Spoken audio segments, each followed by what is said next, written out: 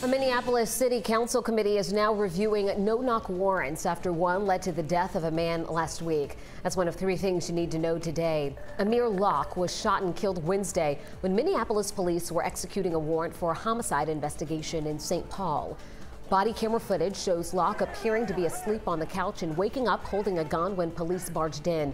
But police say Locke wasn't named in any warrants, and the 22-year-old's family says he got his firearm legally.